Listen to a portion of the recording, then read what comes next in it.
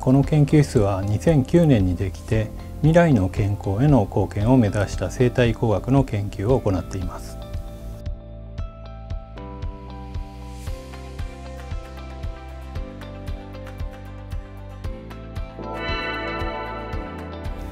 体の仕組みというと医学や生物学の研究を思い浮かべるかもしれませんが近年工学的な研究が注目されています。私たちはマイクロ加工を利用してこのようなチップを作りましてそれから力学を基盤として工学的な視点から体の仕組みを解き明かすことに挑戦しています。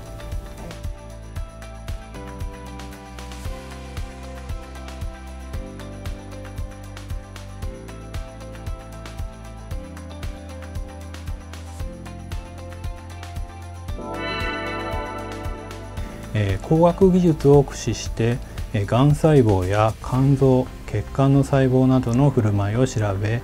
病気や臓器再生の仕組みを解き明かすことが目標で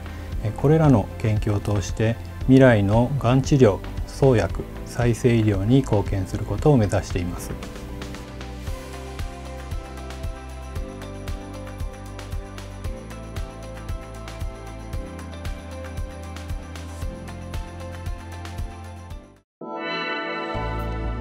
私たちの体には未知の現象がたくさんあるので好奇心にあふれる人や工学的視点から体の仕組みを探求してみたい人におすすめの研究です。